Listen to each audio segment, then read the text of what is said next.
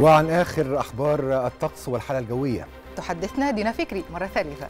شكرا لكما ووقفة أخيرة مع أخبار الطقس محليا وعالميا.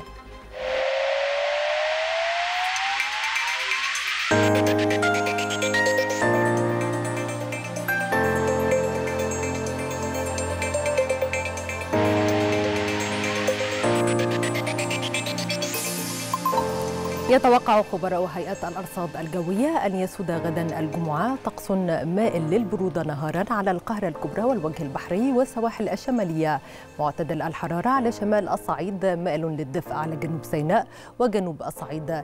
بينما يسود ليلا طقس شديد البرودة على كافة الأنحاء.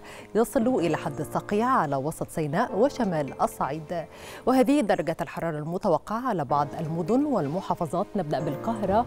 18 10 الإسكندرية 18 10 مطروح 16 11 بورسعيد 17 9 الإسماعيلية 18 10 ونتحول إلى محافظة السويس 18 10 العريش 17 10 طابة 17 14 شرم الشيخ 21 14 الغردقة 20 13 إلى الأقصر 20 9 أسوان 21 10 الوادي الجديد 19 9 شلاتين 22 13 وحلايب 20 14 والآن نستعرض معكم درجات الحرارة المتوقعة غدا في عدد من العواصم والمدن العربية والعالمية.